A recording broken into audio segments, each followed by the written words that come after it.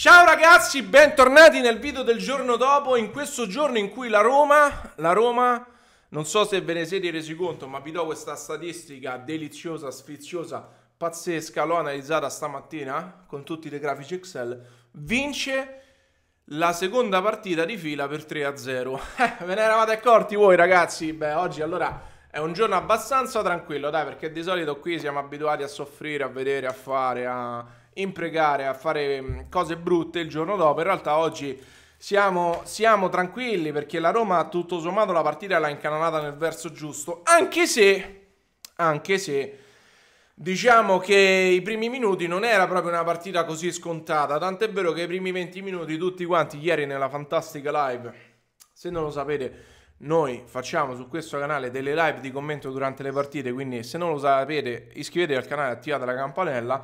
Durante la live, commentando con voi, eh, i primi 20 minuti non erano stati eccezionali della Roma. Diciamo che non è che anche l'Istanbul avesse fatto chissà cosa, però quantomeno era una partita abbastanza equilibrata.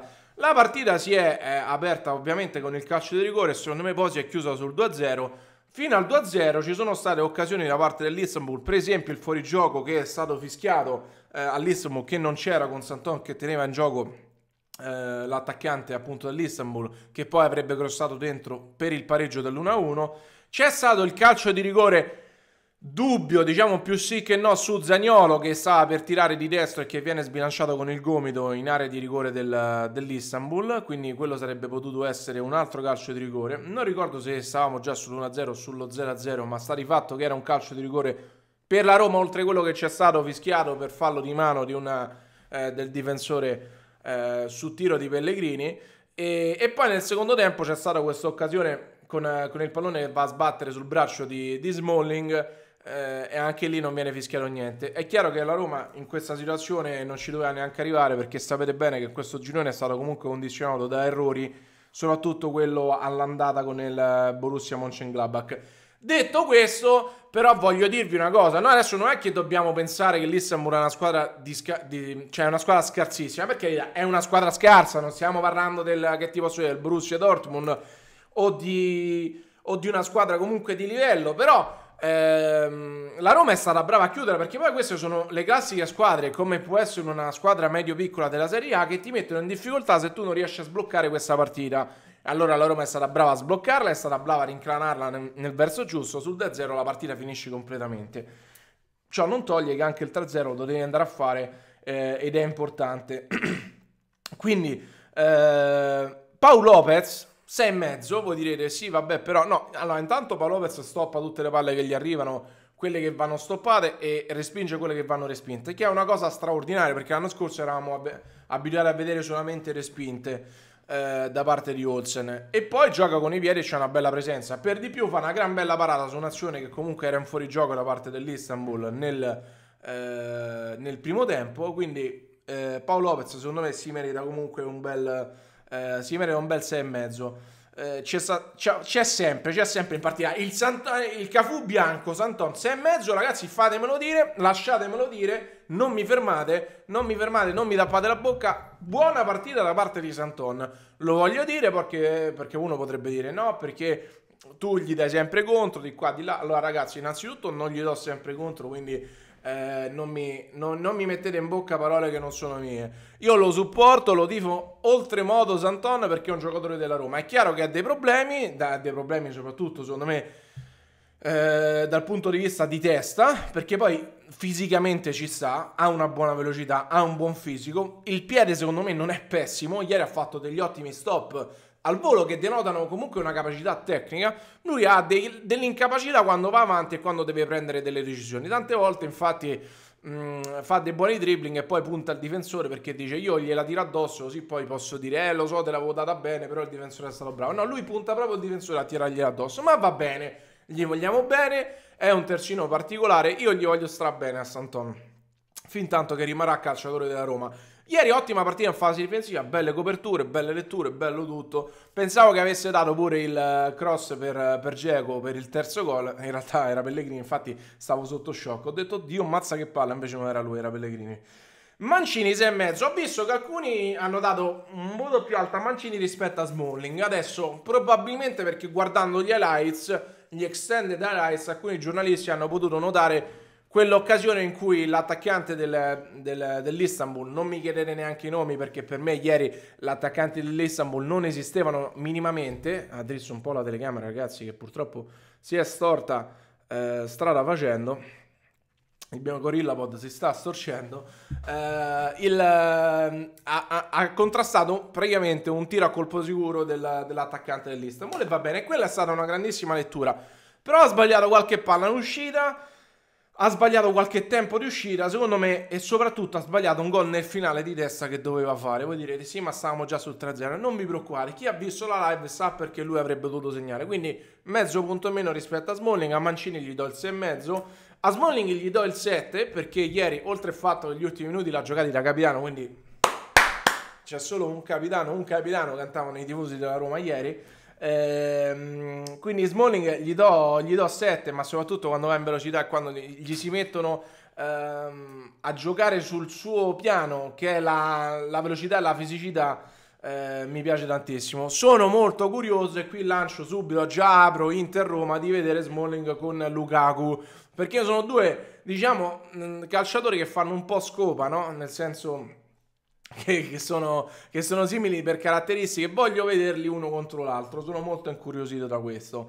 Eh, Kolarov 6,5 non è stato il peggiore in campo. Ieri, eh, tutto sommato, non ha fatto neanche cose eclatanti. Fortunatamente si è un po' riposato. Una partita abbastanza, eh, abbastanza anonima di Kolarov che si becca 6,5. Diavara Ehm, 6 e mezzo anche lui. Diavarà, io voglio dire una cosa, sta spingendo come un matto di panca piana. Allora Diavarà sta esagerando di panca piana perché mi sembra, ah ecco è la telecamera sopra che si muove. Ah che birbante, non è il Gorilla Pod.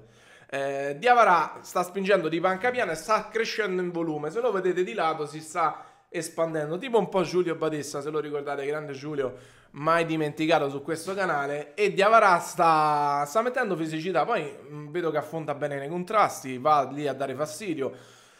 Chiaramente non è velocissimo, non è un fulmine di guerra, come per esempio può essere Veredulli a centrocampo, eh, però è un giocatore che, che, mi, che, mi, sta piacendo sia per qualità di passaggi, eh, c'era una statistica, mi sembra con il Brescia 97% di passaggi riusciti, ehm, di Avarà. Quindi parliamo comunque di un centrocampista che sta facendo bene e in più ha anche fisicità all'interno dell'area di rigore sui calci d'angolo, che non fa mai male. Diciamo che i calci d'angolo quest'anno e i calci piazzati in generale saranno comunque una chiave importante per la Roma. Veredù rigorista, Kolarov è stato declassato. Eh, non è più rigorista della Roma, è rigorista adesso apparentemente è Veredù, non c'è niente di ufficiale, ma chiaramente lo sta tirando adesso lui i calci di rigore.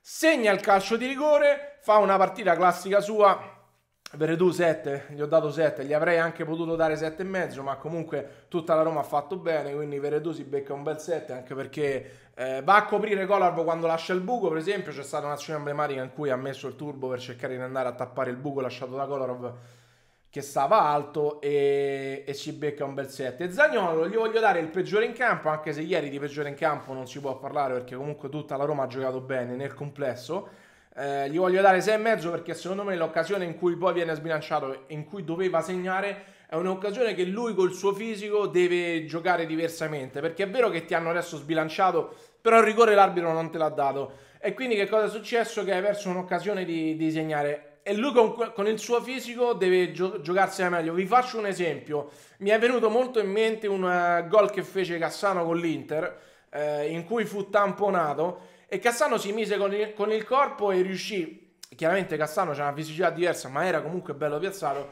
riuscì a segnare quel gol. E poi quella peraltro fu una partita con l'Inter in cui ci furono annullati, mi sembra, 3 o 4 gol completamente regolari. Un saluto agli amici interisti eh, che sono sempre storicamente danneggiati dagli arbitri. E, e fece quel gol proprio eh, essendo tamponato da uno se non due giocatori dell'Inter, eh, fece un gol a pallonetto bellissimo. E, e, mi ha ricordato un po' quella di situazione perché poi lui col suo fisico deve proteggere quella palla e, e metterla in porta. Eh, è chiaro poi la spinta probabilmente c'è stata, però nel complesso Zagnolo non, ha, non si è esaltato. C'è, ci sarebbe da fare un discorso, anzi facciamolo un discorso su Pellegrini, lo accenno minimamente, perché poi adesso si sta diffondendo questa storia che Pellegrini e Zagnolo non possono giocare insieme. Quindi Zagnolo 6,5, Pellegrini 7,5, il migliore in campo per me ieri perché entra in tutti e tre gol praticamente. E ehm, Pellegrini che cosa fa? Cioè che cosa fa? Eh, Pellegrini cerca di, eh, di, fare la palla, quella che Spalletti definì per Totti del KO se ve lo ricordate. E la palla del KO Pellegrini ce l'ha perché l'abbiamo vista con il, con il passaggio per, per Clivert. Intanto Uh, ho un'illuminazione divina e mi si continua a spostare questa telecamera, ragazzi. Non so, non so io cosa debba fare, ma va bene. Questa telecamera ha deciso di roteare su se stessa. Intanto il sole ha deciso di illuminarmi proprio perché eh, simbolicamente mi vuole mi vuole così benedire. Ma comunque Pellegrini la palla del KO, ragazzi, ce l'ha, ce l'ha perché eh, l'abbiamo vista appunto nel secondo gol. Nel terzo gol, bellissima, ancora più bella del secondo gol, sebbene quella del secondo gol strappa forse un po' più d'occhio perché è una palla a pallonetto.